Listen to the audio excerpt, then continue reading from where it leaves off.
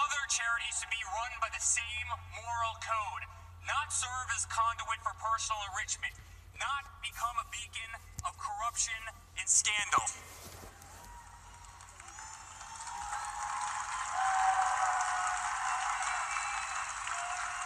To whom much is given, much will be required. This is the very belief that compelled my father to make this great sacrifice, to run for the most powerful yet unforgiving office in the world.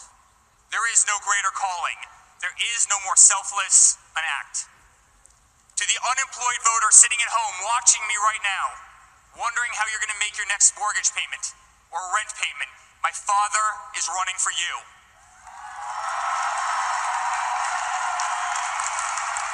To the veteran tuning into his speech from his or her hospital who has been ignored and disrespected by an ungrateful system for far too long, my father is running for you.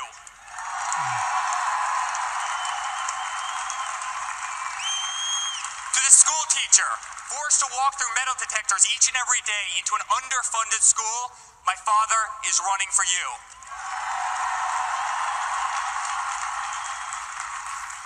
The laborer watching me right now, forced out of a job by undocumented workers, illegal immigrants, my father is running for you.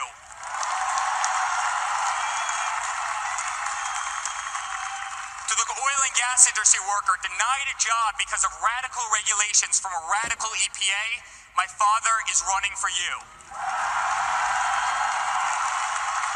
To single mothers, to families with special needs children, to middle class families who can no longer afford medical benefits sufficient to cover their everyday needs, my father is running for you.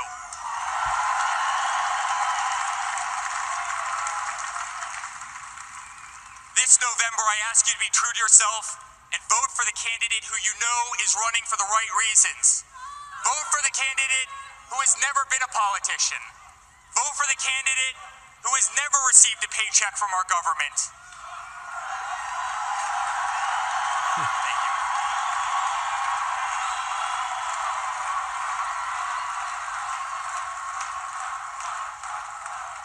for the candidate who can't be bought, sold, purchased, bribed, coerced, intimidated, or steered from the path that is right and just and true.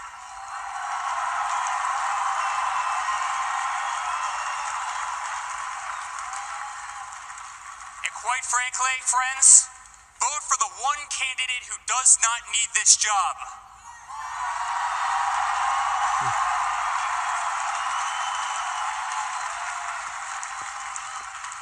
Never have I been more proud to be a Trump. Never have I been more proud to be my father's son.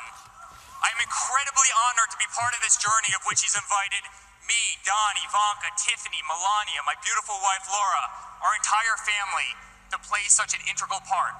Barron. Dad, Barron. you have once again taught us by example. You are my hero. You are my best friend. You are the next president of the United States.